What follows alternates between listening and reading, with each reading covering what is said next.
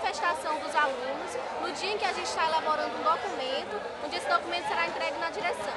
Esse documento tem todas as nossas reivindicações, porque infelizmente para a gente é, chegou ao ponto da nossa paciência esgotar.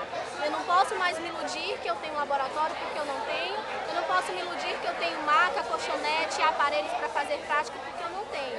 Então hoje o quinto período de fisioterapia conseguiu mobilizar a turma de fisioterapia e a gente recebeu agora é, o apoio da psicologia, onde a gente vai junto lutar por uma melhor estrutura do campus da Universidade Federal do Piauí. Porque aqui eles pedem paciência, eles querem passar a mão, dizer que as coisas vão melhorar. E, infelizmente, há dois anos e meio nós estamos aqui e nada foi melhorado. Nenhum aluno está na universidade porque quer, está atrás de um sonho, um sonho que foi feito a partir do momento que você presta um concurso público e é aprovado.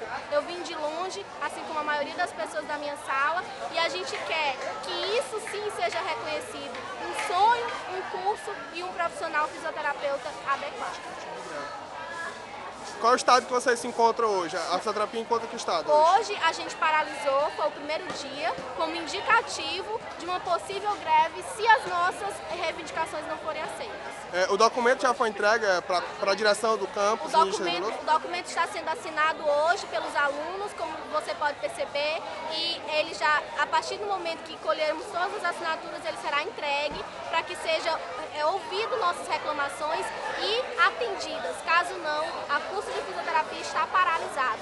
Mas, enquanto isso, nós não vamos assistir aula, porque a gente acredita que parando, eles vão, vai ser mais rápido é, de nos atender.